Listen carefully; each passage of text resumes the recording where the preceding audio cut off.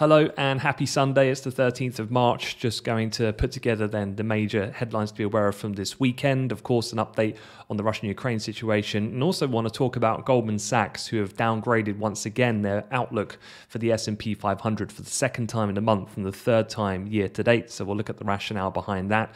And we'll also have a preview for the FOMC meeting. The US Central Bank very much expected to hike rates by 25 basis points on Wednesday and outline then through their projections subsequent rate rate hikes thereafter.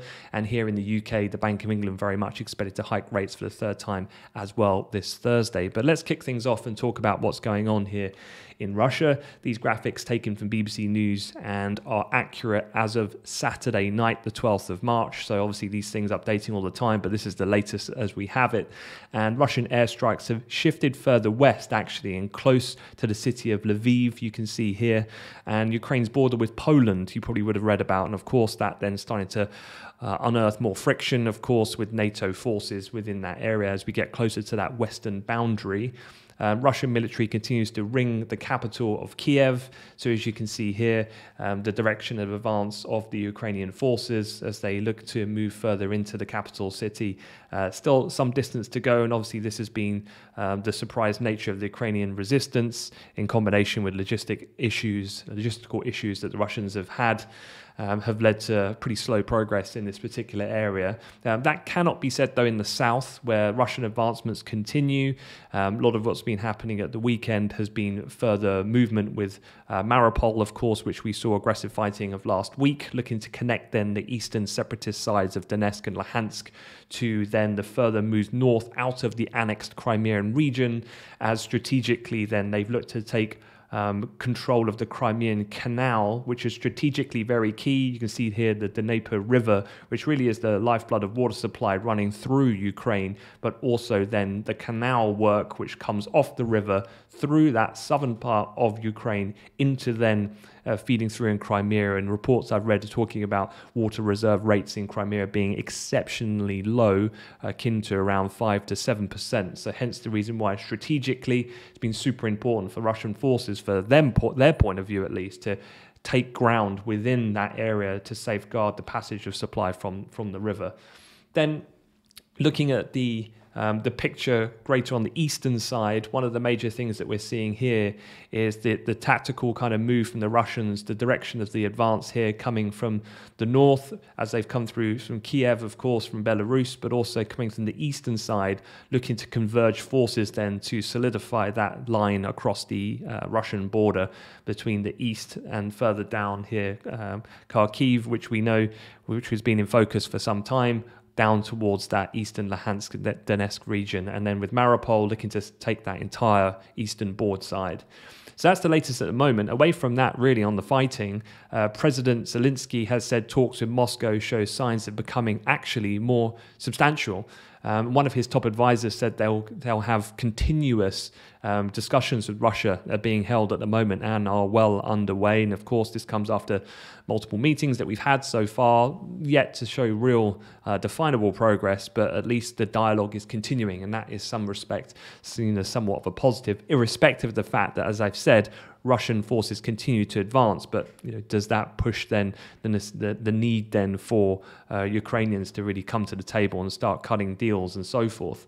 Importantly, for markets from an energy perspective, Russian natural gas supplies to Europe are, are continuing as normal. That was according to today on Sunday, TASS reported a Gazprom spokesman, so unaffected thus far and also for Russian equities, which of course they just closed down their, their stock exchange ever since really this started to really uh, escalate. The Bank of Russia has announced that they're extending the halt of stock trading on Moscow exchange till Friday, was initially due to open on the 14th tomorrow on Monday, so they've delayed that. So that's your latest kind of on the, the Russian situation. Of course, that will continue to be a major dominant and fluid theme as we go through the, the week ahead. The other thing then I did mention was Goldman Sachs. Their strategists have lowered their target for the S&P 500 for the second time in a month. So by numbers, they've downgraded that to 4,700 from 4,900 at the beginning of the year. Only around several weeks ago, they were looking for 5,100. So it's come down quite quickly, implying then negative returns for the year, rating from the larger risks stemming from, of course, the higher commodity prices that we're seeing at the moment, and in turn, weaker consumer demand and economic growth. Um, don't forget that it was, of course, um, and looking at this here, uh, last week, GS noted the probability of a US recession in the next year may be now, according to their strategists, as much as 35%. And they cut their forecast for growth hit by soaring oil. Um, so the problem being then that um, as we start to see this exceptional spike in prices, that that's really going to tilt the yield curve uh, in a sense. Then indicative of what we have been seeing is the chance of recession has been slowly increasing as growth is going to be impacted by that situation, coming at a time, of course, when the Fed are going to be executing multiple rate hikes. Um, what does this look like? Well, here's here's a chart to give it a bit of perspective. Um, so the the target, of course, that they have is 4,700. That's substantially above where we, of course, closed on Friday. We were down at 4,200. So you're looking at a decent move back to the upside. You can see here their recession scenario.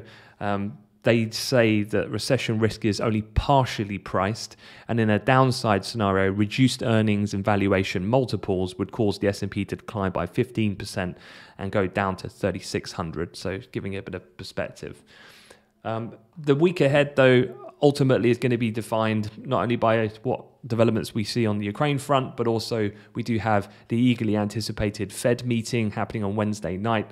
And of course, markets very much now priced for 25 basis points. The Ukraine situation completely taking off, then that 50 basis point um, move that markets were anticipating just a few weeks ago, coupled that with the fact that Fed Chair Powell himself said to Congress a week and a half or so ago that he's inclined to propose and support a 25 basis point rate hike with a series of rate hikes um, likely thereafter. So that's why the market is so kind of sure on that point, given those communications coming directly from the, the Fed. Uh, as a reminder, the Fed will be releasing their latest economic projections, with inflation likely to be revised higher and, and growth lower. Uh, and of course, the dot plot median, the last time we saw that was back in December, so very dated now. And that at the time was for uh, three rate hikes for 2022 by the end of the year. And that's likely to end up being closer to the six rate hikes, of course, of which what the market is currently positioned for. Um, so that's really what the Fed is looking like. Um, from the Bank of England point of view, um, the Bank of England is expected to hike interest rates again. Uh, they're already kind of well ahead of uh, the Fed at this point in that regard. Uh, this is irrespective of the pandemic uh, and despite the threat to, to growth posed by the Russian situation and this emergence of, of course, with focus on inflation, um, likely to head considerably higher, not just in the US, but here in the UK as well, compounded by that electricity price tariff kind of change we've got still to hit in combination with these commodity squeezes that we're seeing. Um, given a sizable minority of the Bank of England's rate setting committee voted for um, a extra large half a percentage point um, rate increase. Remember, in the previous meeting, they hiked 25, but the vote split was 5 4. So only by one vote did they secure 25, not 50. So, given the fact that proportionally they were leaning quite heavily on that side, um, that's the why markets are very much in combination with what I said about inflation, expecting a 25 basis point rate hike. Uh, markets are currently braced for a further five interest rate rises before the end of 2022, so particularly aggressive at the moment here um, on that path in the UK. Um, otherwise, in terms of the week ahead, a couple of things I guess to be aware of outside of those major um, events. On Monday, you've got a Eurogroup meeting. That's going to be follow up on Tuesday with the Economic and Financial Affairs Council meeting. So these, of course, coming in the context of um, the digestion and then potential course of action, of course, that Europe has on its stance with Ukraine is particularly key. And then on Tuesday, you do get UK unemployment rate, you've got German ZEW, um, and then a couple of other things like US PPI also interesting to look out for on, on Tuesday. Wednesday, the FOMC, arguably the main event, then with US retail sales happening just before that at 1.30. Thursday, Bank of England, but as per regular, you get your initial jobless claims come out of the US, but you also get Philly Fed, industrial production, and building permits and housing starts. And then on Friday, Bank of, Eng- oh, Bank of England, Bank of Japan interest rate decision. So that's the third major one coming at the end of the week. Far less exciting and interesting from what we like to see from the Fed and the Bank of England, albeit even those events are fairly well telegraphed, and I'd say markets are prepared for those in itself.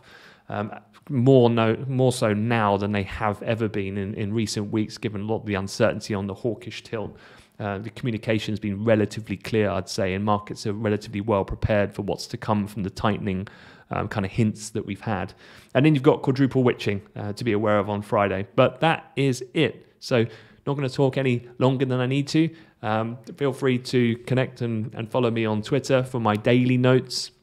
I know my morning briefings don't go out on a daily basis now, but I do still put out my daily notes comprising of everything you need to know every weekday morning available on my handle down here. Um, and feel free to check out the links in the video description for our daily newsletter and Finance Accelerator as well. All right, take care. Have a good week ahead. Thanks for listening.